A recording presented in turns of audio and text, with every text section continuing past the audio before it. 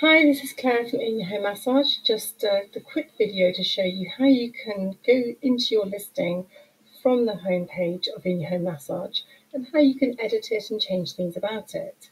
First of all, the listings are all held on what's called your dashboard. Now, when you come to the home page here, you will need to sign in.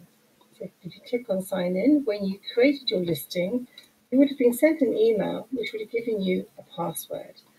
Now, copy and paste that password here. and You can change that under your account details anytime you like. So you sign in there. And then what you'll find is you have a little icon here. You can put your own picture on there if you want to under update profile. So your listing will be shown on what's called the dashboard. The dashboard's here. And if you click on that, that basically gives you a whole raft of things you can do with your listing. And all those will be covered on other videos. Okay. So basically, first of all, you maybe just want to check it. Um, and you can click here on listings on the left hand side and you'll see that your listings come up and it's published and what, what uh, plan you're on and how many days that is. And on the right hand side here we'll give you a little drop down menu where you can edit it, you can remove it, and you can change the plan.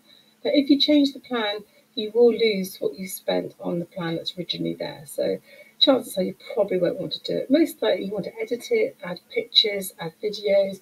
Maybe you didn't get all your social media contacts in there, all those sort of things. And you can do that all from your dashboard. Then get back to the home page. You just click on here. If you want to add another listing, you can go here or you can contact support. But to go back, just click on the logo at the top and that will send you back to the home page.